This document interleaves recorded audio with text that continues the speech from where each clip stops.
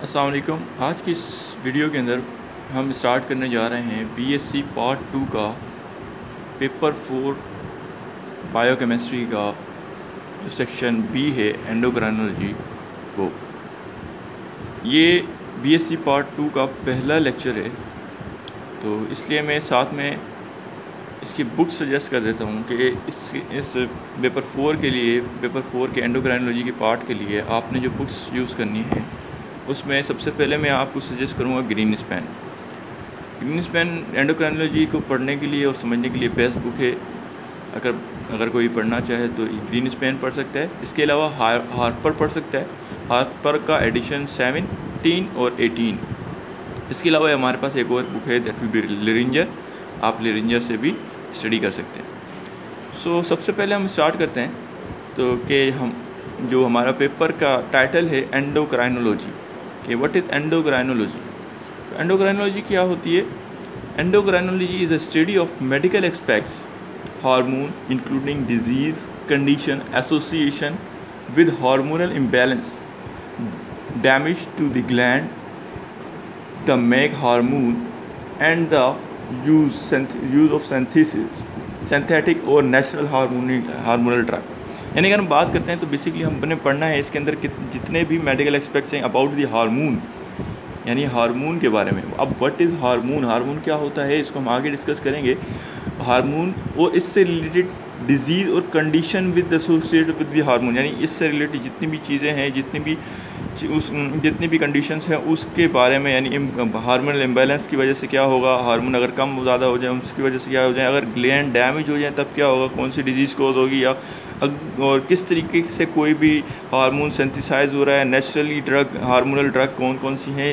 यानी जो हमारे पास नेचुरल में पाए नेचर में पाए जाने वाले हार्मोनल ड्रग्स हैं, वो क्या क्या हैं, किस तरह की होती हैं, वो सारी चीज़ें हम डिस्कस करते हैं किसमें?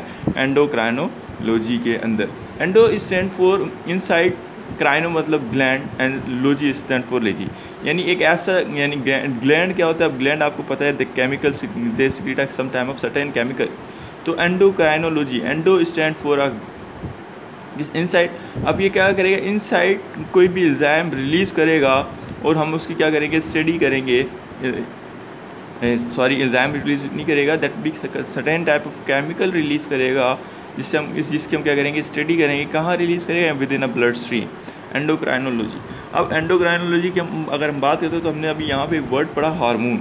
हार्मोन क्या होता है? अगर हम हार्मोन को देखते हैं तो hormone it is a chemical substance produce by a body that control and regulates the activity of certain cell और ऑर्गन यानी हम बात करते हैं, हार्मोन क्या है? एक केमिकल सब्सटेंस है। प्रोड्यूस होता है बॉडी के अंदर और कंट्रोल करता है कंट्रोल और रेगुलेट कर रहा होता है किसी भी सेल या किसी भी ऑर्गन की एक्टिविटी को। अच्छा अब ये और हार्मोन एक ग्लैंड भी बना सकता है, टिश्यू भी बना सकता है और स्पेशल ग्रुप ऑफ़ सेल्स भी प्रोड्यूस कर सकते हैं। यानी ये केमिकल जो केमिकल्स की जो सिक्रीशन है केमिकल की जो सिक्रीशन है, वो कौन कौन कर सकता है? वो एक कोई प्रॉपर ऑर्गन यानी ग्लैंड भी हो सकता है, कोई यानी कुछ टिश्यूज़ भी हो सकते हैं और ग्रुप ऑफ़ सेल्स भी हो सकते हैं। अच्छा अभी इसके अलावा हमने यहाँ अगर बात करते हैं। अच्छा अब ये हार्मोन जो होंगे बेसिकली एक सर्टेन यानी कुछ स्पेशल टाइप के ग्लैंड से सिक्रेट होंगे। It's secrete by special type of gland that और cell known as endocrine gland अब यहाँ सवाल ये आता है कि व्हाट इज़ एंडोक्राइन ग्लैंड और दूसरा, सबसे पहला सवाल तो ये आया कि ग्लैंड क्या होता है। सबसे पहला सवाल आपका क्या हो सकता है कि व्हाट इज़ ग्लैंड ग्लैंड क्या है भाई?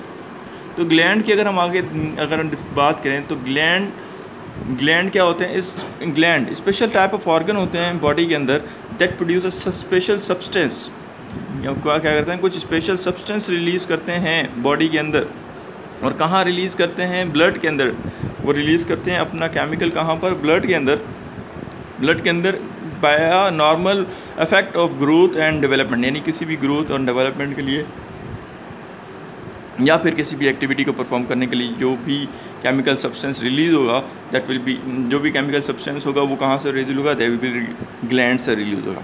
अब यहाँ ग्लैंड यानी हम सिर्फ़ ग्लैंड की बात करें ग्लैंड के, से क्या होते हैं? केमिकल सब्सटेंस रिलीज़ होते हैं। ठीक है ग्लैंड से क्या होते हैं? केमिकल सब्सटेंस रिलीज़ होते हैं। यहाँ अभी हमने ये नहीं बात की कि हार्मोन क्या हैं, या फिर वो केमिकल सब्सटेंस किस तरीके के हो सकते हैं, ये भी हम बात करते हैं। अब अब नेक्स्ट अगर हम आगे जाएँ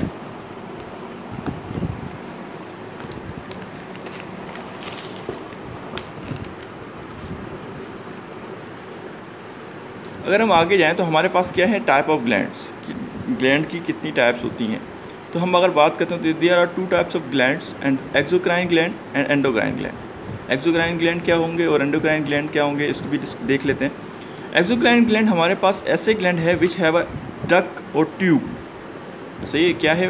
Which have a duct or tube form form which their chemical release यानी उसके लिए क्या होगा? यानी इससे तरह के ग्लैंड्स होंगे जो क्या होंगे डक उनके पास क्या होगी डक होगी अपने केमिकल को रिलीज़ करने के लिए। अपने केमिकल को रिलीज़ करने के लिए क्या होगी? डक होगी। और इसकी इन एग्ज़ाम इन ग्लैंड्स की एग्ज़ाम्पल जो है वो आपके पास क्या है?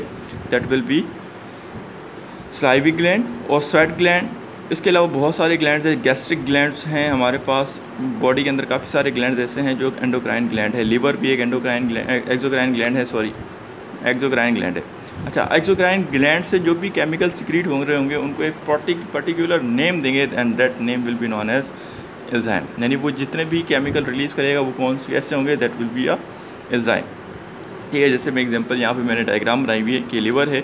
लीवर के पास स्पेशल टाइप ऑफ़ डक है, जो स्पेशल ऑर्गन यानी पर्टिकुलर एरिया में जाके ओपन हो रही है, और वहीं पे डायरेक्टली क्या करे सिक्रीशन कर रही है। That type of gland will be known as exocrine gland अच्छा नेक्स्ट हमारे पास जो है वो है एंडोक्राइन ग्लैंड एंडोक्राइन ग्लैंड क्या होता है? Endocrine gland which which do not have any duct to secrete their chemical directly ये ये क्या करते हैं? इनके पास कोई ग्लैंड नहीं है, ये डायरेक्टली सिक्रीट करते हैं their chemical chemical substance directly into the blood blood stream अगर हम बात करें कि इनके पास कोई डक नहीं है, जिस वजह से ये क्या कर रहे हैं? अपना जो भी केमिकल है, जो भी केमिकल सब्सटेंस है they will be release directly into the blood इसकी एग्जांपल अगर मैं बात करता हूँ तो इसकी एग्जांपल जो है, इस ग्लैंड की एग्जांपल है। हमारे पास pituitary gland pineal gland thyroid gland और बहुत सारे हाइप अगर हम बात, अगर बात करें एडिनल ग्लैंड है तो बहुत सारे हमारी बॉडी में ऐसे ग्लैंड हैं जो क्या होते हैं एक्जोक्राइन एंडोक्राइन ग्लैंड के अंदर आते हैं। सही है? तो यहाँ अब बात ये हो गई कि एक्सोक्राइन ग्लैंड से जो केमिकल रिलीज़ होते हैं उनसे हम क्या कहते हैं? इल्ज़ाइम कहते हैं। एक्सोक्राइन ग्लैंड से जो रिलीज़ हो रहे हैं केमिकल सब्सटेंस उन्हें क्या कहते हैं? इल्ज़ाइम और जो एंडोक्राइन ग्लैंड से रिलीज़ हो रहे हैं इल्ज़ाइम अपना chemical that will be known as hormone that will that chemical substance will be known as hormone that chemical substance will be known as hormone ठीक है?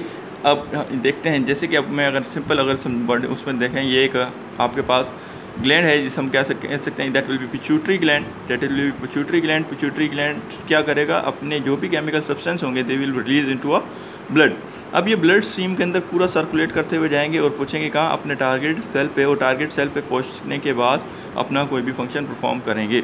अच्छा यहाँ अगर हम बात करते हैं ग्लैंड की तो लिवर जो एक ऐसा लिवर जो हमारा पास, हमारे बॉडी का एक ऑर्गन है that will be largest gland of the larger largest gland of the body that will be largest gland of the body अब हम आगे अगर हम, हमने अगर एंडोक्राइनोलॉजी की बात करें तो एंडोक्राइनोलॉजी में we are discussing only the exocrine endocrine gland हम यहाँ पे क्या डिस्कस करेंगे? हम एंडोक्राइन ग्लैंड डिस्कस करेंगे। हम एक्जोक्राइन ग्लैंड की यहाँ पे बात नहीं करेंगे। क्योंकि हमने बात करनी है हारमोन्स की।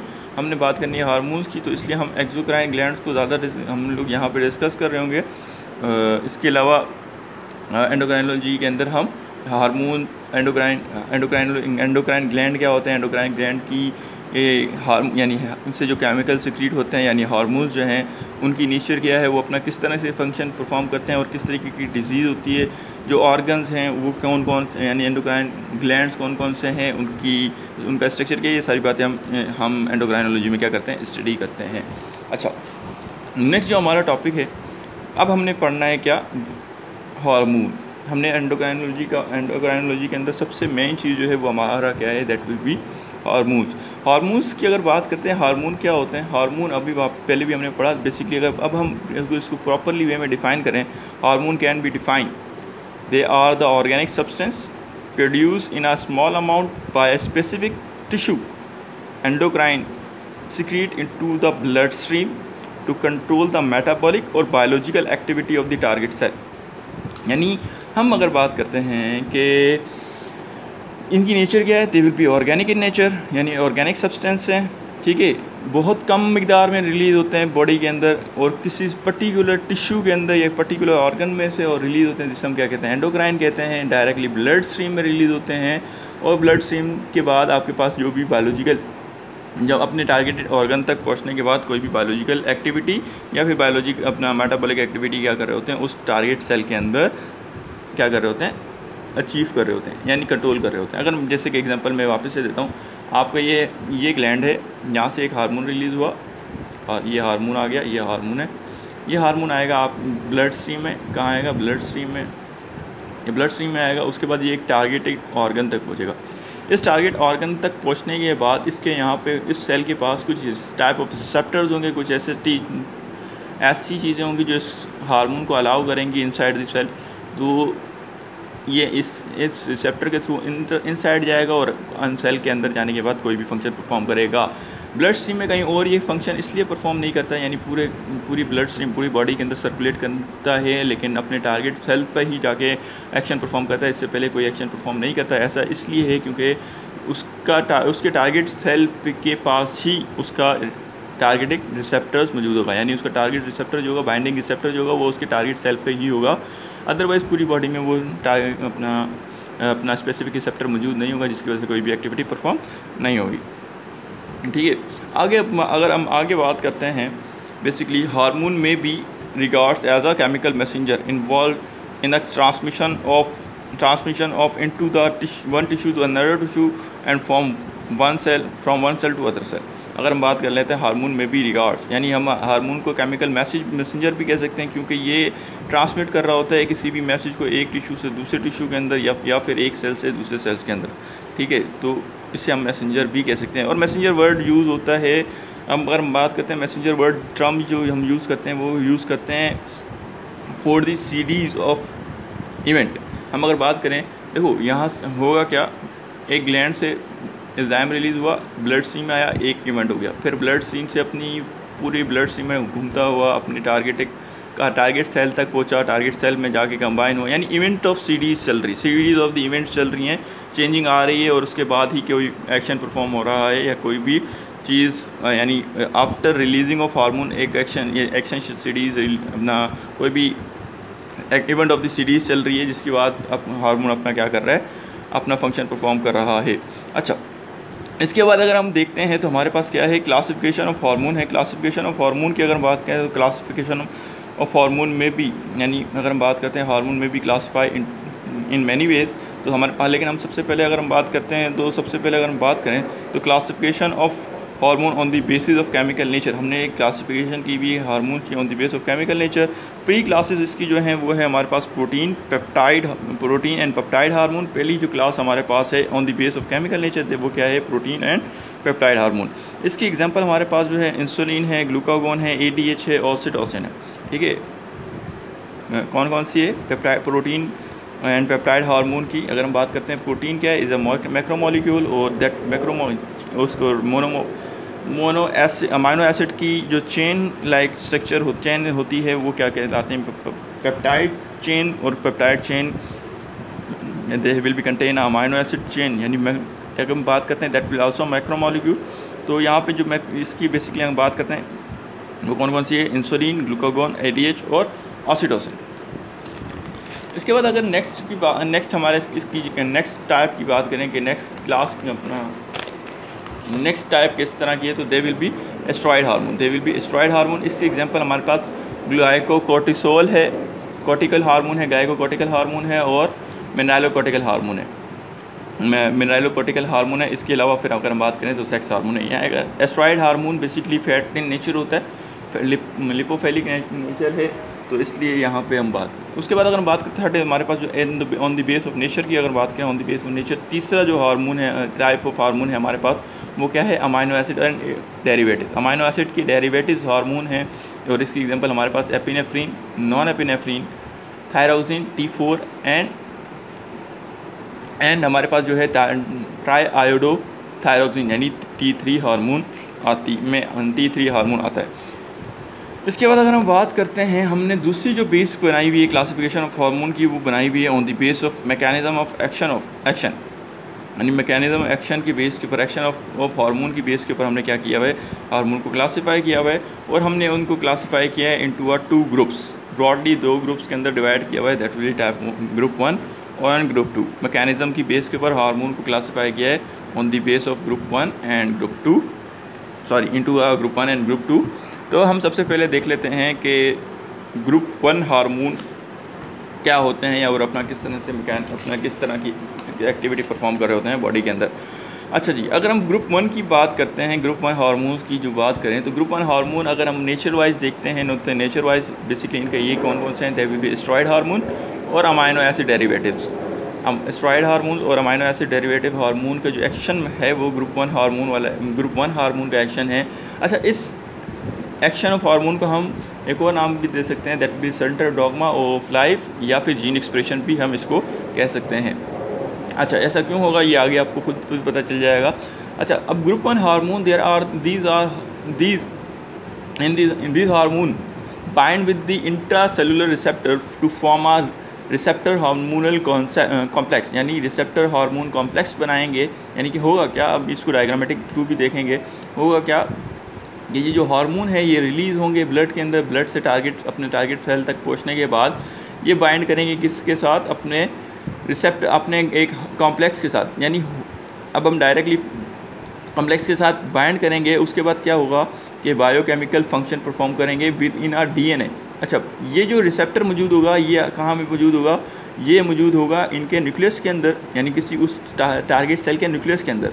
और उस टारगेट सेल के, के न्यूक्लियस में ये रिसेप्टर के साथ बाइंड करने के बाद क्या करेंगे? ये बाइंड कर जाएँगे किसके साथ? डीएनए के साथ। डीएनए के साथ बाइंड करने के बाद ये एक्टिविटी परफॉर्म करेंगे। एक्टिविटी एक्टिवेट कर देंगे किसको? ट्रांसक्रिप्शन को। ट्रांसक्रिप्शन हो जाएगी। तो इसको हम अभी फर्दरली बात करते हैं। अच्छा ये इनकी जो नेचर है they the group one hormone की जो नेचर होती है वो कैसे होती है? लिपोफिलिक होती है। They are mostly derivative of cholesterol except some hormone that will be like T three three T four estrogen, androgen, कोटिक, ग्लो, गायको कोटिकल हार्मोन है और कैल्सिटो, कॉटिकल हार्मोन है। अच्छा अब यहाँ पे एक डायग्राम हमारे पास बनी हुई है।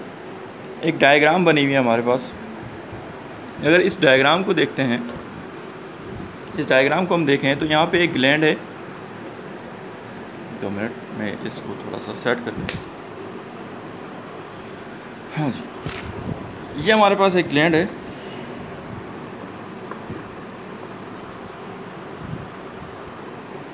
ये हमारे पास एक ग्लैंड है जिसे हम एंडोक्राइन ग्लैंड कह रहे हैं। एंडोक्राइन ग्लैंड कह रहे हैं, ये रिलीज़ कर रहा है एक हार्मोन इस हार्मोन ये हार्मोन जो इसको क्लासीफाई किया हुआ है, हमने किया हुआ है जीवन हार्मोन के अंदर। जीवन हार्मोन में जीवन हार्मोन रिलीज़ होगा कहाँ पे? ब्लड स्ट्रीम के अंदर हार्मोन है तो कोई भी हार्मोन हो जीवन हो, या जी हो, वो ब्लड स्ट्रीम में ही रिलीज़ होगा। ब्लड ब्लड स्ट्रीम में रिलीज़ होने के बाद ये पहुँचेगा अपने टारगेट सेल तक, ये इसका टारगेट सेल है। ये इसका टारगेट सेल है, ये अपने टारगेट सेल में पहुँचने के बाद क्या होगा, ये इंटर हो जाएगा डायरेक्ट विद दी अपना डायरेक्ट इंटर हो जाएगा कहाँ पे? विद इन सेल यहाँ पे अगर हम बात करते हैं सेल मेम्ब्रेन ये इसकी सेल मेम्ब्रेन है, यहाँ पे कोई रिसेप्टर नहीं मिलेगा इसको। ये इस, यहाँ पे सेल यानी जो सेल यानी सेल तक पहुँचने के बाद यहाँ पर कोई भी इसको इसको किसी रिसेप्टर की ज़रूरत नहीं होगी, किसी दूसरी चीज़ मॉलिक्यूल की ज़रूरत नहीं होगी एंटर करने के लिए किसके अंदर सेल के अंदर। क्यों? क्योंकि इस, अगर हम बात करते हैं सेल मेम्ब्रेन का जो नेचर है, वो भी क्या है? लिपोफिलिक है।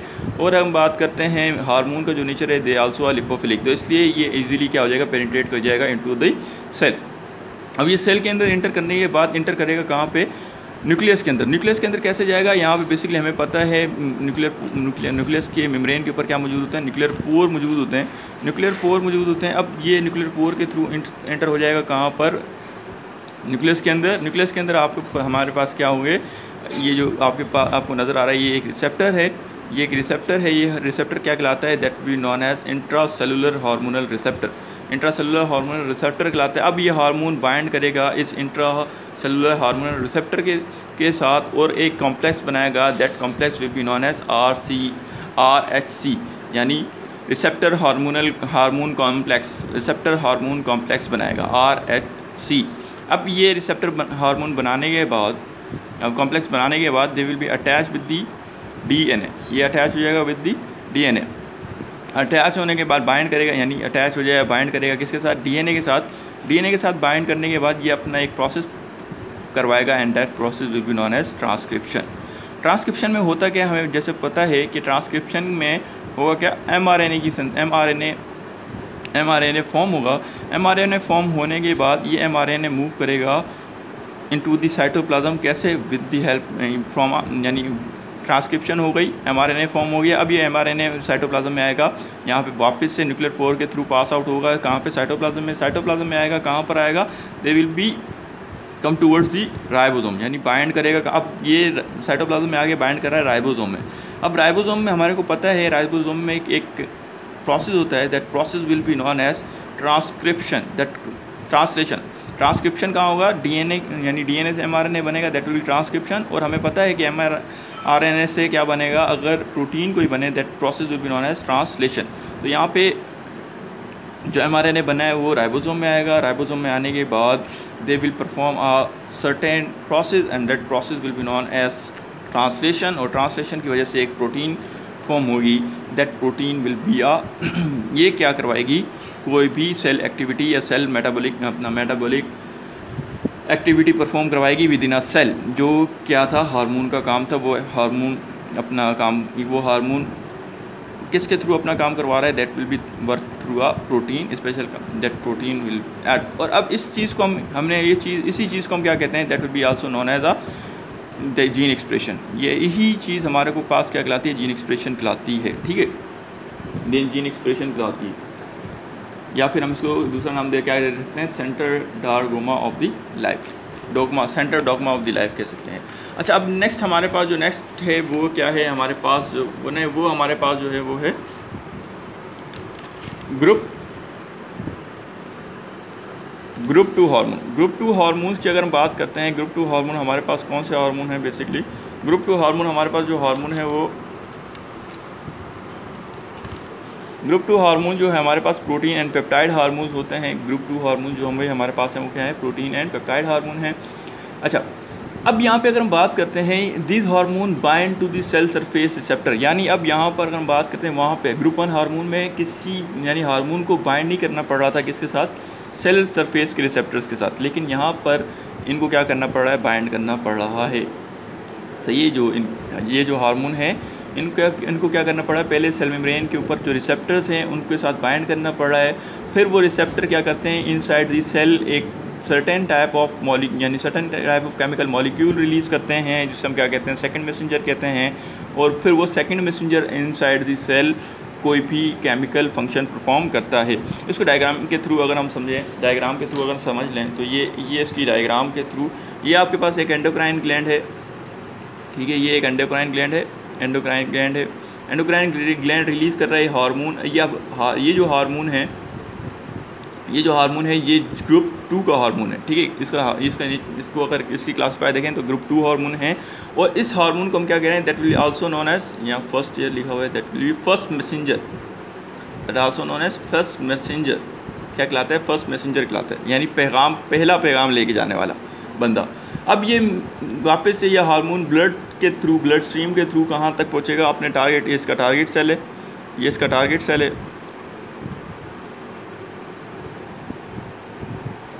टारगेट सेल है। अब टारगेट सेल के पास पहुँचने के बाद हम अगर बात करते हैं, ये टारगेट सेल की क्या है? सेल मेम्ब्रेन ये टारगेट सेल की क्या है? सेल मेम्ब्रेन है।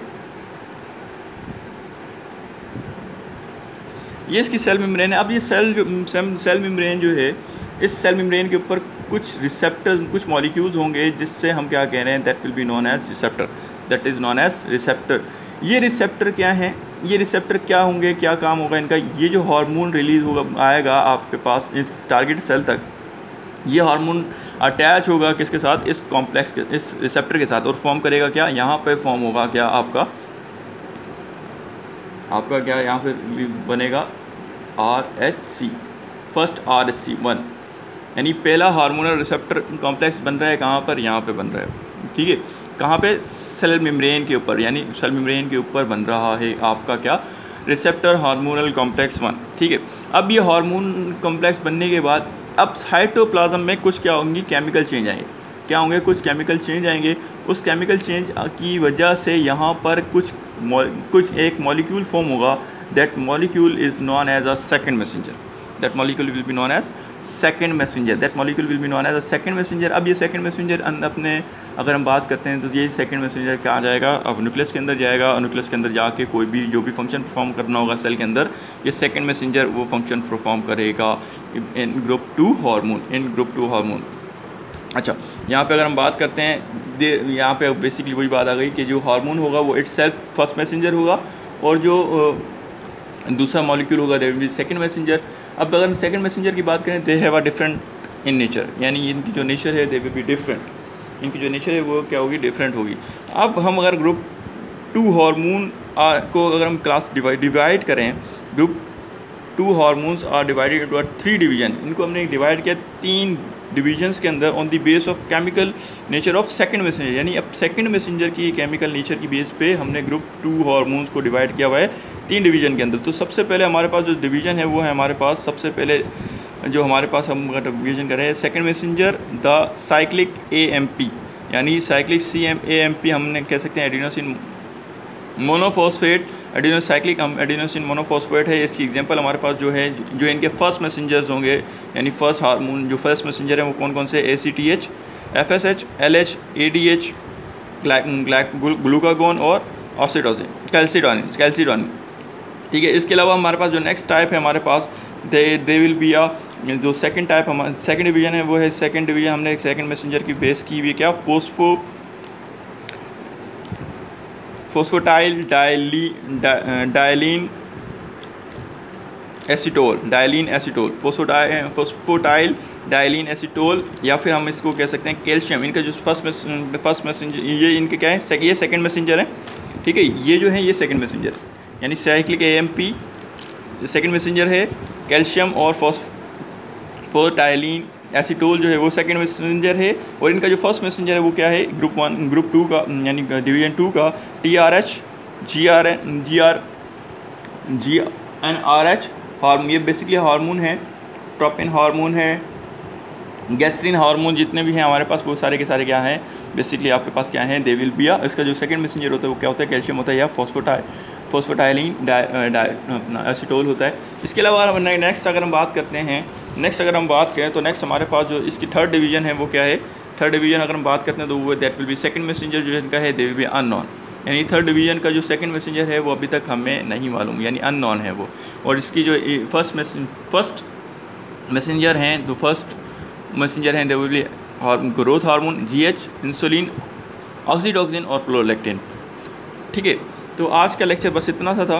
इन नेक्स्ट वीडियो के अंदर हम इन्हीं, यानी इन्हीं ग्रुप वन और ग्रुप टू के हारमोन्स की फर्दर स्टडी करेंगे, यानी इनका मैकेनिज़्म देखेंगे, इनकी प्रॉपर्टीज़ देखेंगे एक्शन ऑफ़ एक्शन पर किस तरह और ये कहाँ से रिलीज़ हो रहे हैं, इस, ये सारी चीज़ें डिस्कस करेंगे। ठीक हो गया। अपना ख्याल रखिएगा। अस्सलाम वालेकुम